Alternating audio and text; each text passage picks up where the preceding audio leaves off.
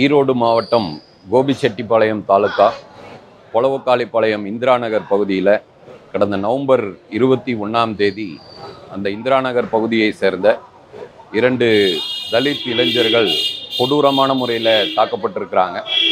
அதில் நவீன்குமார் என்பவர் டிப்ளமா முதலாண்டு படிக்கக்கூடிய மாணவர் கிருபாகரன் கூலி தொழிலாளி. இவங்க இரண்டு பேரும் இருபதாம் தேதி மாலை அவங்க புலவக்காளிப்பாளையம் பகுதியில் தண்ணி அடிச்சிட்டு இருந்திருக்காங்க. அந்த நேரத்தில் ஜாதி ஆதிக்கத்தை சேர்ந்த அந்த இடத்துக்கு வந்தபொழுது இங்கே ஏன் உட்காந்துருக்கீங்கன்னு கேட்டதுனால இந்த மாதிரி நாங்கள் தண்ணி அடித்தோம் அதனால் இங்கே உட்காந்துருக்கோன்னு அவங்க பதில் சொல்லியிருக்காங்க. உடனே அந்த இருசக்கர வாகனத்தை அந்த ஆதிக்க ஜாதியை சேர்ந்தவர் பறிச்சுட்டு போயிட்டார். அதனால் இரவு முழுவதும் அவங்க அங்கேயே படுத்து தூங்கிடுறாங்க. அடுத்த நாள் காலையில் மீண்டும் அந்த பகுதியை சேர்ந்த ஆதிக்க ஜாதியினர் அங்கே வராங்க.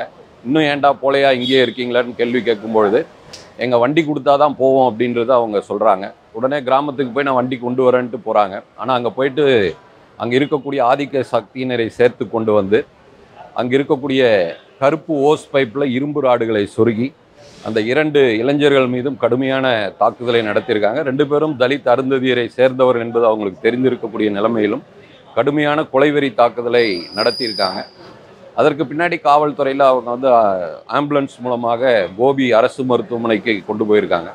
அரசு மனைக்கு கொண்டு போகும்போது கூட அந்த நவீன்குமாரனுடைய தாய் அந்த ஆம்புலன்ஸில் ஏற முயற்சி செய்கிறாங்க ஆனால் அதற்கு மறுத்துவிட்டு அந்த பகுதியில் கடுக்கம்பாளையம் என்று சொல்லக்கூடிய அந்த கிராம ஊராட்சியினுடைய தலைவருடைய கணவர் கண்ணுசாமி ஆம்புலன்ஸில் ஏறிக்கிட்டு நீங்கள் கோழி திருட வந்து தான் தாக்குதலுக்கு உள்ளாகினீங்க என்று சொல்ல வேண்டும் என்று மிரட்டிய நிலைமையும் இருந்திருக்கு.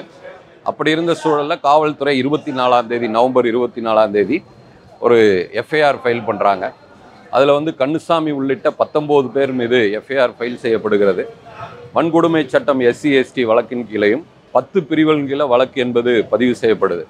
வழக்கு பதிவு செய்து இருபத்தி நாலாம் தேதி ஆகி இப்போ கிட்டத்தட்ட ஏழு எட்டு நாள் கடந்ததற்கு பிறகும் இதுவரை அந்த சம்பவத்தில் யாருமே கைது செய்யப்படவில்லை. ஆனால் இந்த ஆதிக்க சக்தியை சேர்ந்தவர்கள் ஒரு இருபத்தி ஏழாம் தேதி காவல்துறை கண்காணிப்பாளர் அலுவலகத்தின் முன்னாடி இந்த வழக்கை வாபஸ் செய்ய வேண்டும் என்று சாலை மறியல் போராட்டம் நடத்துகிறாங்க உடனே மாவட்ட கண்காணிப்பாளரும் சரி இது பேசி நாங்கள் முடிவு செய்கிறோம் என்ற அடிப்படையில் அந்த மறியல் கைவிடப்பட்டிருக்கு. ஆனால் அதற்கு பிறகு பீஸ் மீட்டிங் என்பதும் நடத்தப்பட்டிருக்கு ஆர்டிஓ தலைமையில். ஆனால் எங்கேயும் இல்லாத அளவுக்கு பீஸ் மீட்டிங் என்பது அருந்ததியர் சமூகத்திற்கு தனியாகவும் ஆதிக்க சாதியினருக்கு தனியாகவும் இந்த பீஸ் மீட்டிங் என்பது நடந்திருக்கு. அதில் எந்த தீர்வும் எட்ட முடியல. இது வரைக்கும் பீஸ் மீட்டிங் என்பது இரு தரப்பை வச்சு நடத்துகிறதா தான் இருக்கும். ஆனால் அப்படி இல்லை. ஆனால் இந்த வழக்கை திசை திருப்பக்கூடிய வகையில் ஆதிக்க ஜாதியினர் இந்த இருவரும் கோழி திருட்டில் ஈடுபட்டாங்க. அதனால தான் நாங்கள் அடித்தோம் என்பதை அவர்கள் தரப்பை நியாயப்படுத்தக்கூடிய வகையில் செயல்பட்டுக்கிட்டு இருக்காங்க. ஆனால் திருட்டு வழக்காக இருந்தாலும் அது காவல்துறை சரியான நடவடிக்கை எடுக்க வேண்டுமே ஒழிய சட்டத்தை தங்கள் கையில் எடுக்கக்கூடாது என்பது தான் மார்க்சிஸ்ட் கம்யூனிஸ்ட் கட்சியினுடைய நிலைப்பாடு. பாதிக்கப்பட்ட இருவரையும் அரசு மருத்துவமனையில் மார்க்சிஸ்ட் கம்யூனிஸ்ட் கட்சி சார்பிலும் தீண்டாமை ஒழிப்பு முன்னணி சார்பிலையும் பார்த்து ஆறுதலும் சொல்லியிருக்கோம். அவர்களும் நடந்த சம்பவத்தையும் சொல்லியிருக்கிறாங்க. தக்க நடவடிக்கை எடுக்க வேண்டும் என்று வலியுறுத்துகிறாங்க அந்த அடிப்படையில் மார்க்சிஸ்ட் கம்யூனிஸ்ட் கட்சியின் சார்பில் இந்த வன்கொடுமையில் கொலைவெறி தாக்குதலில் ஈடுபட்ட அந்த இருபது பேர் மீதும் சட்டப்படியான நடவடிக்கை எடுக்க வேண்டும்.